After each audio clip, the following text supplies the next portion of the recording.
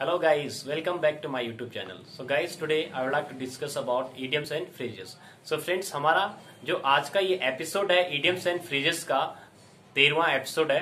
So friends, आप लोगों से मेरी रिक्वेस्ट है कि आप लोग कॉपी एंड पेन लीजिएगा और जो भी चीज़ मैं इस वीडियो के माध्यम से आप लोगों को पढ़ाऊँगा please note it down. So friends, आज की वीडियो बहुत ही बेहतर होने वाली है जो अपकमिंग एग्ज़ाम के लिए बहुत ही बेनिफिट होगी आप लोगों के लिए जो भी स्टूडेंट कॉम्पिटेटिव एग्ज़ाम की प्रिपरेशन कर रहे हैं और ईडियम्स एंड फ्रेजेस आपके एग्ज़ाम में जब फंसता है तो आप लोग कंफ्यूज हो जाते हैं। सो so फ्रेंड्स जो भी चीज़ मैं कंटिन्यू आपको ईडियम्स एंड फ्रेजेस की वीडियो बनाते जा रहा हूँ और हमारा जो आज का तेरहवा एपिसोड है right friend so friends let's start the class so friends हमारा जो पहला ईडियम्स है put up to put up to का मतलब होता है उकसाना, किसी को उकसाना।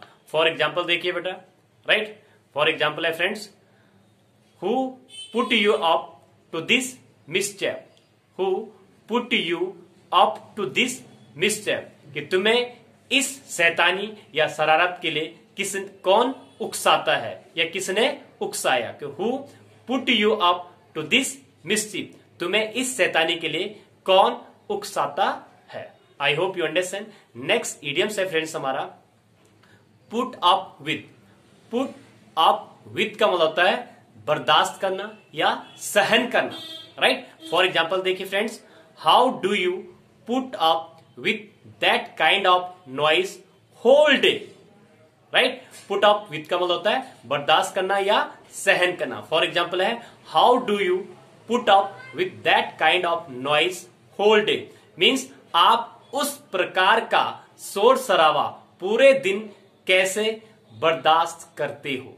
I hope you understand next idioms है फ्रेंड्स हमारा। That's very very important for you guys red letter day red letter day का मतलब होता है स्वर्णिम दिन या स्वर्ण दिन। मीन्स बहुत सुंदर डे बहुत महत्वपूर्ण दिन। राइट फॉर एग्ज़ाम्पल देखिए August 1947 is a red letter day in Indian history means अगस्त 1947 का जो दिन है हमारे देश के लिए, हमारी इंडियन कंट्री के लिए हिस्ट्री में स्वर्णिम दिन कहलाता है कि August 1947 is a red letter day in Indian history. हमारे जो इंडिया के इतिहास में अगस्त 47 का जो दिन है, बहुत स्वर्णिम दिन है, महत्वपूर्ण दिन है। I hope you understand next idioms है फ्रेंड्स हमारा राइट हियर राइट हियर का मतलब होता है इसी जगह।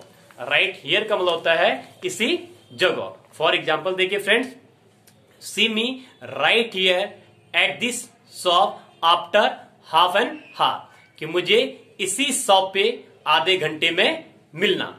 I hope you understand next idioms है फ्रेंड्स हमारा। राइट नाउ राइट नाउ का मतलब होता है इसी समय या इसी वक्त या बिल्कुल अभी। गेटिंग फ्रेंड फॉर एग्ज़ाम्पल देखिए let's do it right now let's do it right now इसे हमें अभी करने दो या इसी समय करने दो। I hope you understand so friends आज की इस वीडियो में मैंने आप लोगों के लिए फाइव ईडियम्स पढ़ाए हैं, जो अपकमिंग एग्ज़ाम में आने वाली हैं और पहले भी आ चुकी हैं। जब भी आपके एग्ज़ाम में कम्पिटेटिव एग्ज़ाम में ईडियम्स और फ्रेजेस आते हैं तो आप लोग थोड़ा बहुत कंफ्यूज हो जाते हैं। और इसी के लिए मैंने आप लोगों के लिए एक सीरीज़ स्टार्ट किया है, जो हमारा एपिसोड के नाम से है। ये आपका आज का तेरवा एपिसोड है और जिसमें आप लोगों को बहुत कुछ सीखने को मिलेगा। फाइव इडियम्स हैं। सो फ्रेंड्स यदि आप लोगों को मेरी वीडियो पसंद आती है प्लीज़ मेरी वीडियो को लाइक कीजिएगा। अपने टेन और फिफ्टीन फ्रेंड से ज़रूर शेयर कीजिएगा। बिकॉज़ जो इससे मुझे मोटिवेशन मिलेगा और मैं आप लोगों के लिए अच्छी से अच्छी वीडियो प्रोवाइड करूँगा। सो so फ्रेंड्स जो भी व्यूअर्स मेरे चैनल पे नया है प्लीज़ चैनल को सब्सक्राइब कीजिएगा। उसी के बगल में बेल आइकन उसे ज़रूर प्रेस कीजिए बिकॉज़ जो आने वाली वीडियो है, उसकी नोटिफिकेशन आप तक पहुँच जाएगी। सो फ्रेंड्स कमेंट्स वक्त में कमेंट्स करना ना भूलेगा। सो वेल फ्रेंड्स मिलते हैं अगली वीडियो में। Till then nice meeting to you thank you very much keep practising जय हिंद जय भारत